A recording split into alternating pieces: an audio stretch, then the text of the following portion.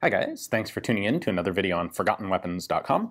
I'm Ian McCollum and I'm here today at the Rock Island Auction Company taking a look at some of the guns they're going to be selling in their upcoming February of 2018 regional auction. Specifically today, a Daewoo K1A1 carbine. This is a gun, there, there's a few misconceptions around this, and it's actually a really interesting amalgamation of a couple different designs, and the Daewoo K2 is as well.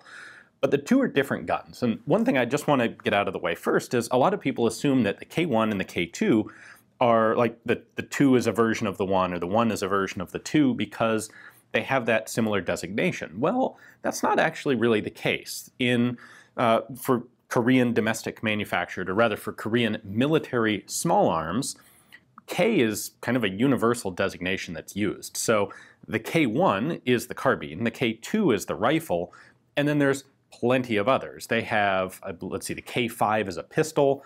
I believe the K4 is a heavy machine gun. So just because they use that letter K doesn't mean that they're actually similar in any way other than being Korean military firearms. So with that out of the way, the K1 here was designed kind of to be a replacement for the, the grease gun. It is in South Korean designations a submachine gun. Think of this like the Russian designation of the AK as a submachine gun.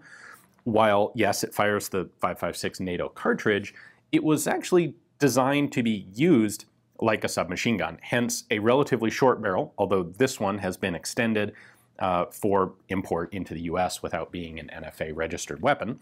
Uh, the collapsing buttstock, and even the sights are kind of indicative of it being a submachine gun. We'll take a look at those in just a minute. The background to this comes from, well, originally the South Korean army was largely armed with American weapons as a result of the Korean War. And they decided that they wanted to upgrade some things, for example, to get rid of these old 45 caliber grease guns and replace them with something more modern. Same with their infantry rifles. They had a lot of M1 Garands. And so first, they, the South Koreans acquired a license to manufacture uh, M16A1s from Colt. Well, they purchased guns from Colt. Then they got a license to manufacture them, started manufacturing M16s. Uh, the Daewoo company did. This was, Daewoo was a huge industrial conglomerate at the time that did everything from televisions to cars to small arms to probably all sorts of other things.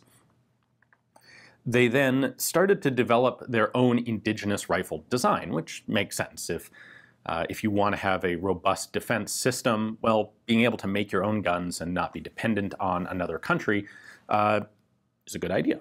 So uh, they put into development the K1 first and the K2 shortly after, and the two have substantially different operating systems despite having also a lot of parts in common. So let's start by taking a look at the inside of the K1 and see what exactly they put together for this rifle. Not surprisingly, a lot of the elements of this rifle are carbine, uh, were developed from the M16 platform because that's what Daewoo had a lot of experience with at the time. However, they did introduce elements from other guns as well. So right off the bat, this originally had a 10.4 inch barrel, uh, 263 millimeters.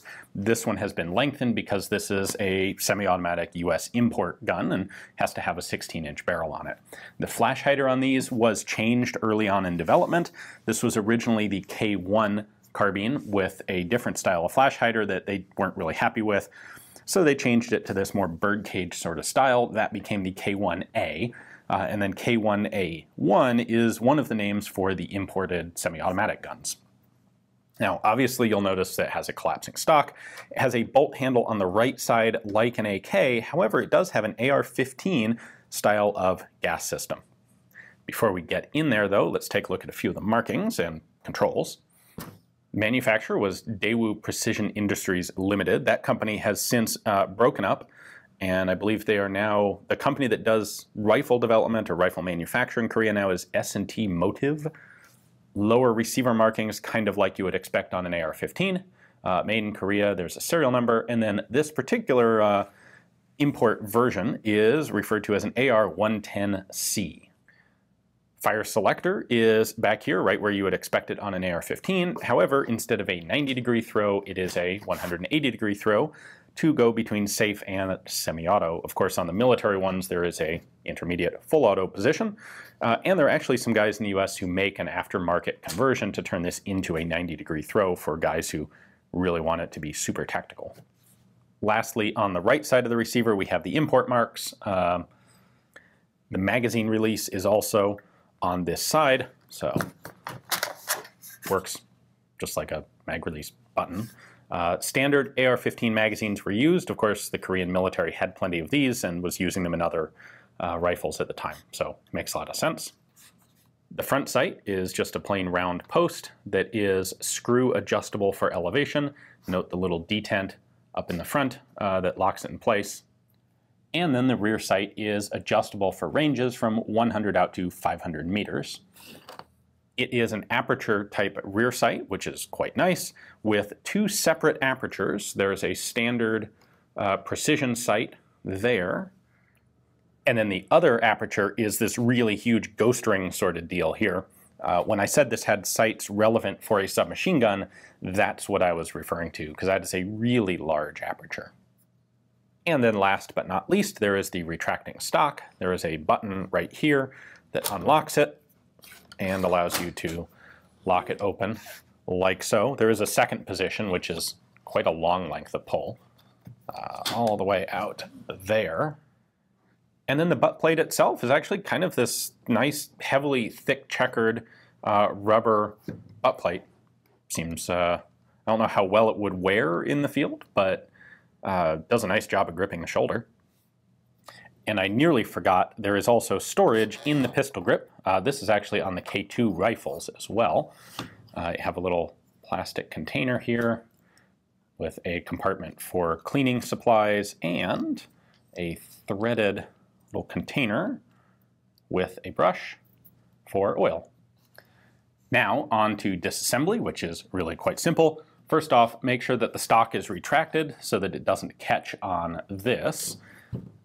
Then just push the button and the upper pivots up away from the lower.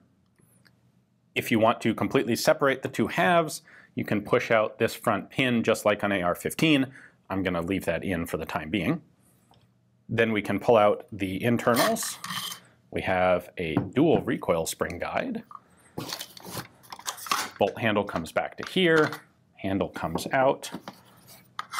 Bolt and bolt carrier come out. And that's it for the internals. If you take off this screw right here, you can remove the handguard, which is nice to see the gas system.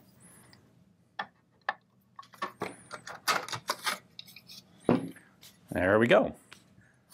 So the gas system itself is straight off the AR-15. It is a gas piston located inside the bolt carrier itself, which most people refer to as direct gas impingement. We have a gas tube running from the barrel up here all the way back into the receiver. There are a couple parts of this rifle that are actually directly interchangeable with the AR-15, but only a couple, uh, specifically the trigger and the barrel nut, interestingly, of all things.